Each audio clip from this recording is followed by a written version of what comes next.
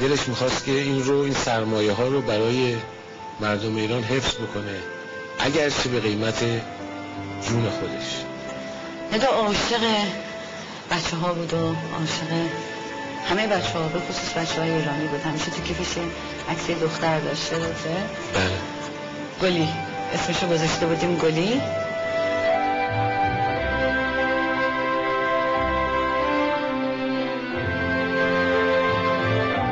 احساس می‌کنم که خدا خیلی خوشحاله که چنین انسانهایی رو روی زمین داره که او رو نمایندگی بکنند.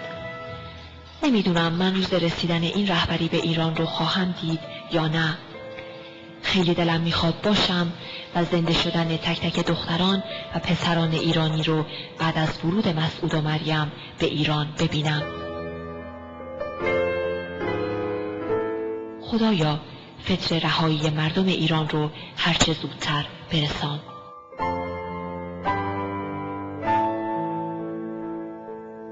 من از سهم خودم به عنوان کسی که فقط دخترم رو به دنیا آوردم خانم رجوی و شیر همیشه بیدار رو پدر مادر ندا می‌دونم.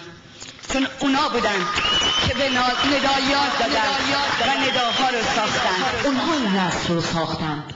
اون روز فهمیدم که منم بخشی از آتشی و آتش فشانی بزرگ هستم. آتش فشانی که شوله های بسیاری دارد. آن روز فهمیدم که من و ندا تنها نبودیم.